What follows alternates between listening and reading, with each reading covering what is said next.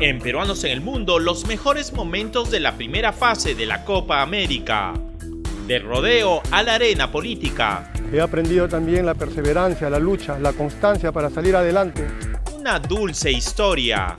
Mira aquí una, una clienta que tiene uno de los helados. Mira, this is mangonada, right? You like it? Sí. Un chef con las botas bien puestas. Soy cocinero. Soy chef ejecutivo, pero seguiré siendo cocinero. Peruanos en el Mundo, edición Copa América Brasil 2019.